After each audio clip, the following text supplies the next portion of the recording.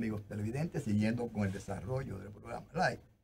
Tú sabes que a principio de año nosotros hicimos un programa donde hablábamos de nuestro planeta Tierra, de nuestro bello, de nuestro bello mundo, y decíamos en ese programa que nuestro planeta está herido de muerte. Y también decíamos que el planeta se iba a vengar. Yo no sé si tú te acuerdas. Pero claro que sí, Ramón. Entonces, fíjate lo que acaba de suceder ahora. Eh, ese terremoto en Turquía, los muertos van por 35 mil. Mire, yo dejé de seguir esa noticia porque me da tanta pena, pero no sabía que la cifra estaba tan alta. Nosotros, nosotros dijimos, porque que el, hombre, oye, el hombre ha, dañado su planeta. Y la Tierra ahora mismo está temblando no solamente en Donde quiera. En todas partes del mundo. En todas partes está temblando. Y no, yo no, nosotros no nos interesa hacer paro de mal agüero. Pero estas cosas van a seguir, lamentablemente, porque es que el hombre está inmerso en guerra, en intereses mezquinos, en ese tipo de cosas. Entonces, eh, esa es la respuesta. Mira.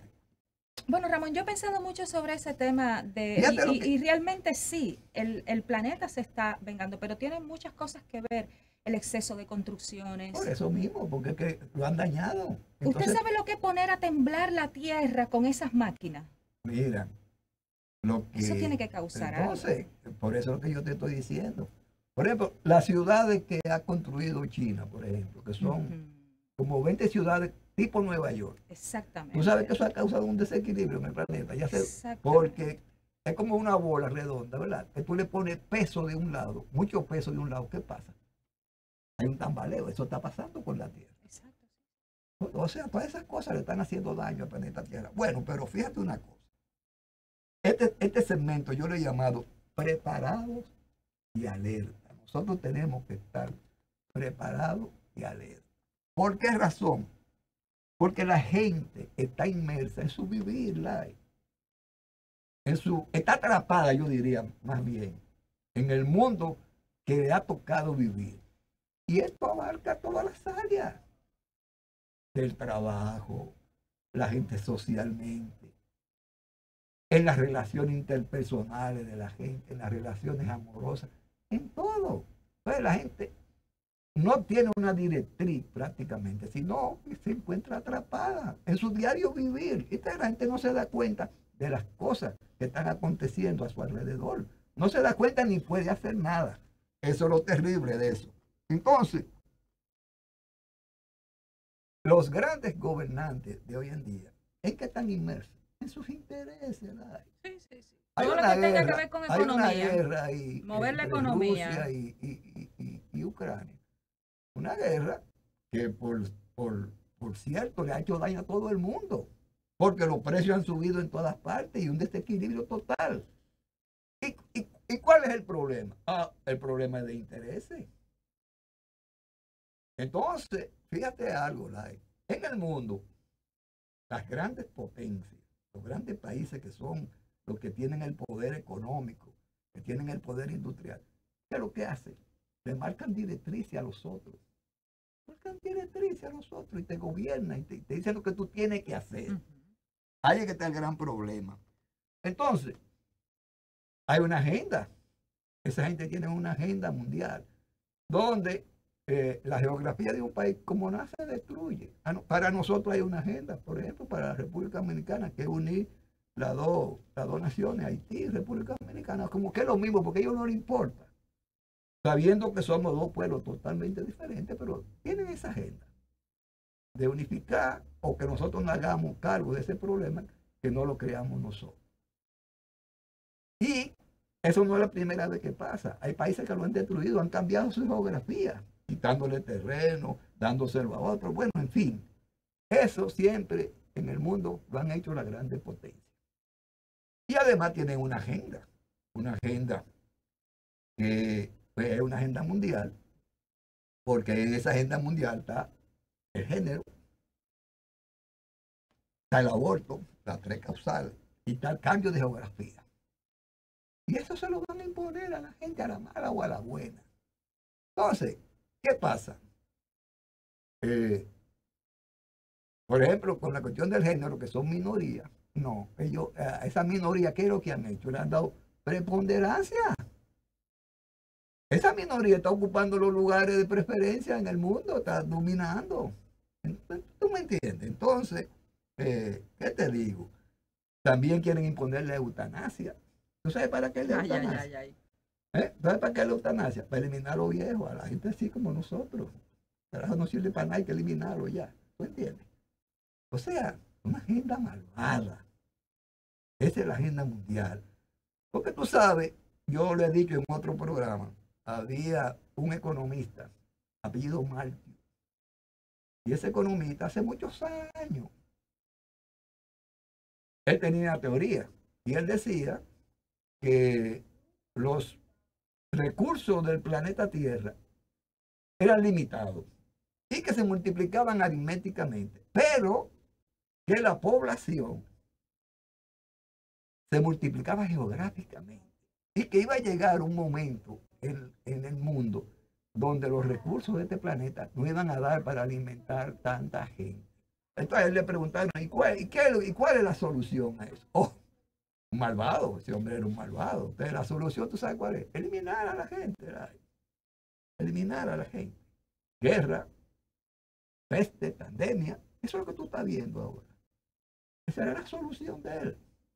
Homosexualidad.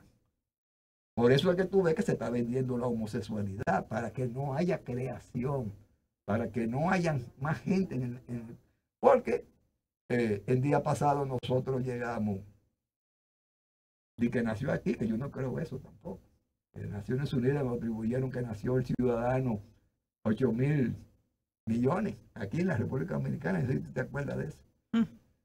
Bueno, bueno, entonces, ¿qué pasa? En el mundo hay 8 mil millones de gente y los recursos realmente están mal dirigidos.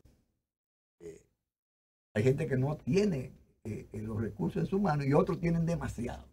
Otros tienen todo y otros tienen muy poco.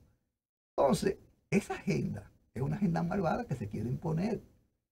Fíjate que tú ves la televisión y en la televisión, ¿qué es lo que te enseña? Mujeres meneando que el trasero. Ya no menean la parte de adelante. Lo que menean en la parte de atrás, porque eso es, por ahí es que está el asunto, para que la gente sea homosexual. Y, en países europeos como España, Francia, ¿qué es lo que le están enseñando a los niños? Que ellos pueden decidir su sexo. Su sexo, ay, pero esa es, esa es la, la, locura más Entonces, grande. Eso es una maldad, eso es una maldad. Diciendo, ¿qué quieren decir con esto? Que Dios se equivocó. Que cuando Dios te hizo a ti mujer y te puso una popola, y cuando hizo a, me hizo a mí y nos puso un penecito. ¿eh? ¿Se equivocó? No, porque yo puedo elegir lo que yo quiera. Oye, pero por Dios. Entonces, esa agenda es una agenda asquerosa, malvada. Además, el aborto.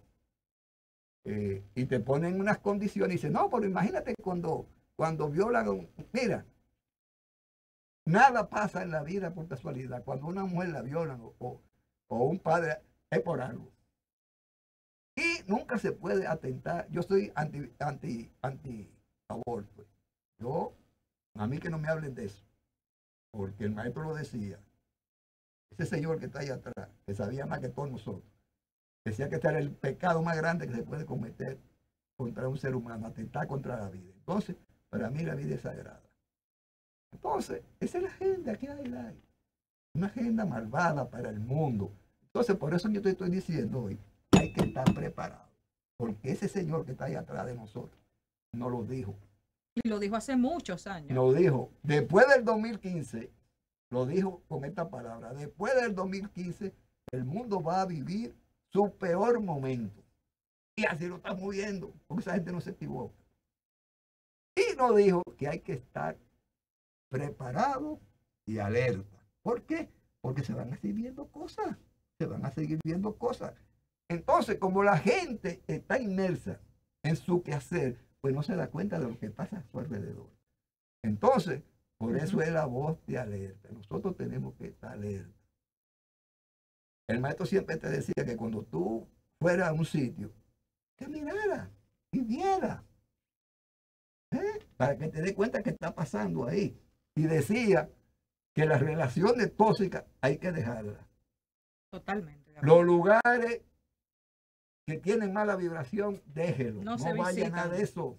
No Porque si tú ves un lugar y tú ves que hay una tensión, que se puede armar un problema, vete de ahí. No esperes que el problema sea, se arme. ¿Tú entiendes? Entonces, por eso es que hay que estar alerta. Él te lo decía bien claro, hay que estar alerta.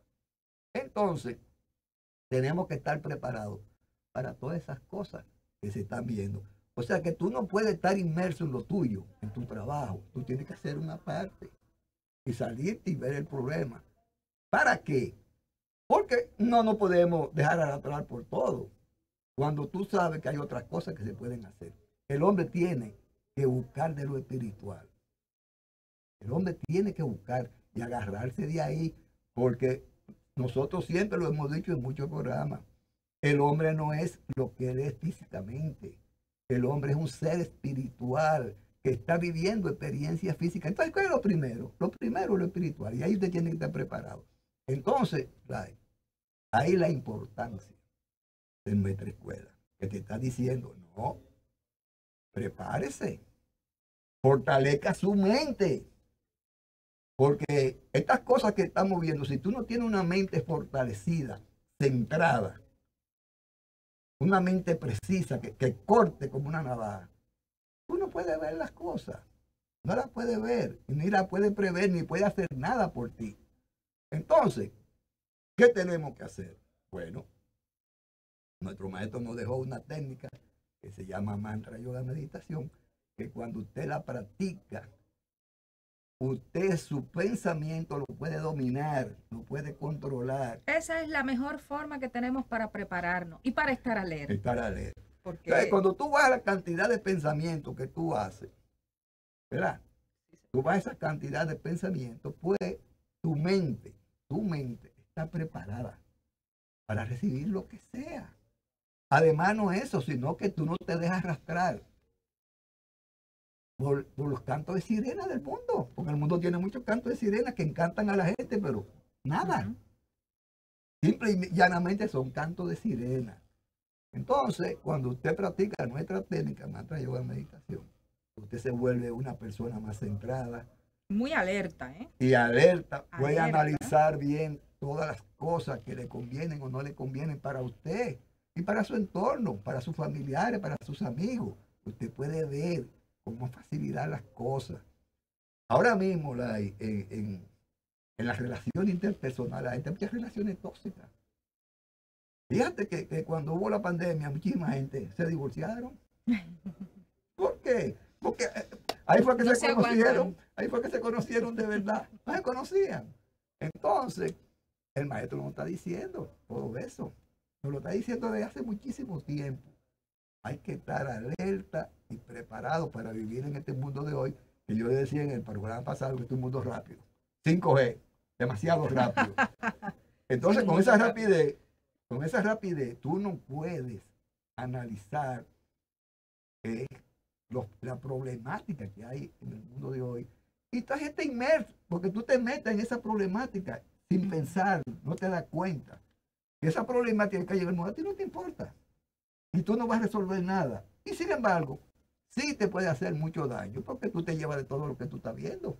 Tú nada más tienes que coger las redes sociales para que tú veas cuántas cosas insurce, cuánto disparate hay ahí. Demasiado, demasiado.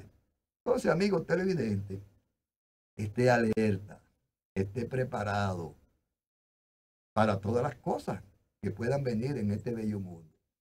Bien, amigos televidentes, vamos a hacer una pausa y venimos con otro tema de interés para todos ustedes.